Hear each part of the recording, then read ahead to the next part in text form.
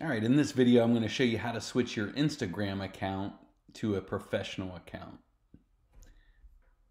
First thing you're going to do is you're going to log into Instagram.com. So you just go to Instagram.com. And then up in the top right hand corner, you're going to find your profile picture and you're going to click it. And then from there, you're going to click on Settings. And from there, you'll see a list of options down here. You could also go to instagram.com forward slash account forward slash edit.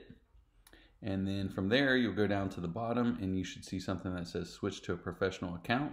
So I'm going to click on switch to a professional account.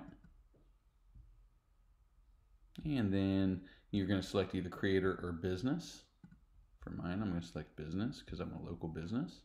Next. And next. And then from here, you'll select your category. So real estate agent is what I will select and hit done.